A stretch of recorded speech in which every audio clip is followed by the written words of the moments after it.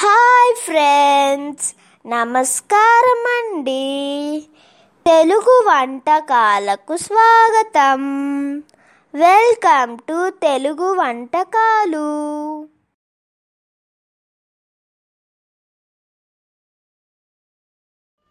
Hi friends Telugu వంటకాలకు స్వాగతం. ఈరోజు నేను మీకు చూపించబోయే వంటకం మరొక బ్రేక్ఫాస్ట్ ఐటెం దాని యొక్క సైడ్ డిష్ పూరీ కూర ఈ పూరితో పాటు తీసుకునేటటువంటి కూర అది బంగాళదుంప శనగపిండితో చేసేటటువంటి కూరను చేయబోతున్నాను. దీనికి కావలసిన పదార్థాల్లో ముందుగా ఉల్లిపాయ ముక్కలు ఈ విధంగా కాస్త పెద్ద సైజుగానే కట్ చేసి పెట్టుకోవాలి. సన్నంగా పొడవుగా పెద్ద ముక్కలు ఉండాలి. అలాగే బంగాళదుంపను కూడా పెచ్చలు తీసుకొని ఈ విధంగా కట్ చేసి పెట్టుకోవాలి. ఇక కావలసిన మిగతా సామాన్లో శనగపిండి ఒక రెండు చెంచాలు పోపు దినుసుల్లో శనగపప్పు మినప్పప్పు ఆవాలు జీలకర్ర పచ్చిమిర్చి ఎండుమిర్చి కొత్తిమీర కరివేపాకు ఆయిల్ అల్లం వెల్లుల్లి ముద్ద కర్రీ మసాలా పౌడర్. ఇది ఆల్రెడీ నేను వీడియో చేసి పెట్టున్నాను. ఇది లేనప్పుడు కాసింత ధనియాల పొడి వాడుకోవచ్చు. అలాగే రుచికి సరిపడా ఉప్పు పసుపు కారము. ఇవి కావలసిన పదార్థాలు. వీటితో ఎంతో రుచికరంగా ఉండే పూరీ కూరను చేయబోతున్నాను హోటల్ స్టైల్లో. ఇప్పుడు తయారు చేసుకున్న విధానంలో ముందుగా ఒక కడాయి పెట్టుకోవాలి. ఇది కడాయిలోనైనా చేసుకోవచ్చు లేదా కుక్కర్లో అయినా చేసుకోవచ్చు. నేను ఈరోజు కుక్కర్లో చేస్తున్నాను. అందులో ఒక రెండు చెంచాలు ఆయిల్ వేసుకొని ఆయిల్ కాస్త వేడెక్కినాక పోపు దినుసులు వేసుకోవాలి. శనగపప్పు మినప్పప్పు ఆవాలు జీలకర్ర. అవి కాస్త చిటపట్లాడేటంత వరకు వేయించాలి. ఈ విధంగా పప్పులు కాస్త రంగు మారినాక ఇప్పుడు ఇందులో ఎండుమిర్చి వేసుకోవాలి. అలాగే కాసింత పచ్చిమిర్చి కరివేపాకు కూడా వేసుకోవాలి. ఈ విధంగా పచ్చిమిర్చి ఎండుమిర్చి కూడా వేసుకున్నాక అవి కాసేపు వేగినాక ఇప్పుడు ఇందులో అల్లం వెల్లుల్లి ముద్ద వేసుకోవాలి.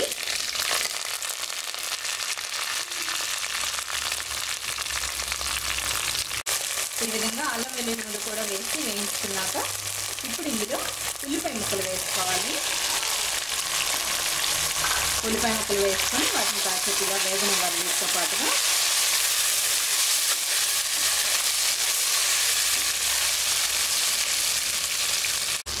ఈ విధంగా ఉల్లిపాయలు ఒక రెండు మూడు నిమిషాలు మగ్గితే సరిపడుతుంది. మరీ మెత్తగా అవ్వాల్సిన అవసరం లేదు. మనకి ఈ పూరీ కూరలో మనకి ఉల్లిపాయ కూడా తగులుతూ ఉంటుంది. ఈ విధంగా ఉల్లిపాయలు కాస్త రంగు మారినాక ఇప్పుడు ఇందులో కట్ చేసి పెట్టుకున్నటువంటి బంగాళదుంప ముక్కలు వేసుకోవాలి. ఈ బంగాళదుంప ముక్కలతో పాటుగానే కూరకు సరిపడా ఉప్పు కారము పసుపు అలాగే కర్రీ మసాలా పౌడర్ అన్నది నేను రెండు టీ స్పూన్లు తీసుకున్నాను. ఇప్పుడు ఒక టీ స్పూన్ వేస్తాను కూర దించే ముందు ఒక టీ స్పూన్ వేస్తాం. ఇవన్నీ వేసుకున్నాక ఒకసారి మంచిగా కలుపుకోవాలి. ఈ విధంగా ఉప్పు కారం పసుపు మసాలా అన్నీ వేసి కలుపుకున్నాక ఇప్పుడు కూరకు సరిపడిన నీళ్ళు వేసుకోవాలి. నార్మల్ కూర కంటే కాస్త ఎక్కువ నీళ్ళు పడతాయి ఈ కూరకు. వేసుకొని ఒకసారి అంతా బాగా కలపాలి. ఈ విధంగా నీళ్ళు వేసుకొని కలుపుకున్నాక అంటే మన నార్మల్ కూరలో కంటే ఇప్పుడు నేను దీనికి ఒక పెద్ద గ్లాస్ గ్లాస్ నీళ్ళు వేసాను ఈ కూర క్వాంటిటీకి మనం తర్వాత శనగపిండి వేసినాక అది చిక్కబడుతుంది. ఇప్పుడు కుక్కర్ మూత పెట్టుకొని బంగాళదుంప ఉడికేటంత వరకు అని అంటే ఒక రెండు నుండి మూడు విజిల్స్ వచ్చేటంత వరకు ఉడికించుకోవాలి. ఈ విధంగా కూర ఉడికేలోగా ఈ శనగపిండిలో కాసిన్ని నీళ్ళు వేసుకొని మంచిగా ఉండలు లేకుండా కలిపి పెట్టుకోవాలి. మంచిగా ఉండలు లేకుండా ఉండాలి మొత్తంగా కలపాలి. ఈ విధంగా ఒక మూడు నాలుగు విజిల్స్ వరకు కూరను ఉడికించుకున్నాక ప్రెజర్ తగ్గినాక మూత తీసుకుంటే కూర ఈ విధంగా ఉంటుంది. మనకి బంగాళదుంప ముక్కలుగా ఇష్టం ఉంటే ఆ విధంగా ఉంచవచ్చు లేదు అని అంటే బంగాళదుంప మరి చిన్న ముక్కలుగా అవ్వాలి అని అంటే జస్ట్ స్మాషర్ లాంటి దాన్ని తీసుకొని ఈ విధంగా ప్రెస్ చేస్తే మనకంతా చిన్న చిన్న ముక్కల్లా అయిపోతుంది. ఇప్పుడు ఇందులో మనం కలిపి ఉంచుకున్నటువంటి ఈ శనగపిండి నీళ్ళ మిశ్రమాన్ని వేసుకొని ఒకసారి అంతా కలపాలి.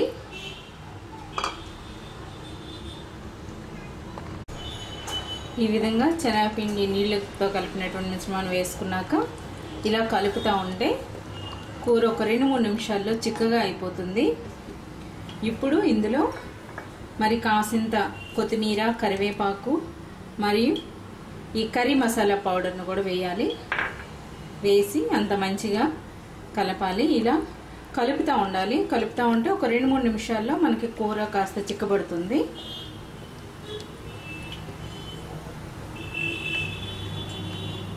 ఈ విధంగా కూర ఒక రెండు నిమిషాల్లో చిక్కబడి మనకి ఈ విధంగా కన్సిస్టెన్సీకి వస్తుంది.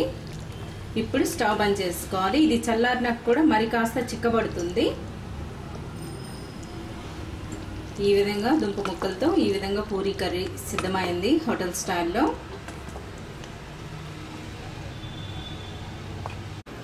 ఇప్పుడు ఎంతో రుచికరంగా ఉండే టిఫిన్ సెంటర్ పూరీ కర్రీ సిద్ధమైంది. ఇది పూరీతో సైడ్ డిష్గా చాలా బాగుంటుంది. అచ్చా హోటల్ స్టైల్లోనే చేసాము హోటల్ స్టైల్కి ఇంటికి తేడా ఏంటంటే మనం ఇంటి దగ్గర చేసుకునేటప్పుడు కాస్త ఆలుగడ్డలు ఎక్కువగా వేసుకుంటాము. హోటల్లో అనేటప్పుడు మనకి గ్రేవీ ఎక్కువగా వస్తుంది. ఆ మోడల్లో తయారు చేశాను. నా ఈ వంటకం మీ అందరికీ నచ్చిందని ఆశిస్తున్నాను. మీకు నచ్చినట్లయితే మీ సలహాలు సూచనలు పంపగలరు. ధన్యవాదములు. నమస్తే.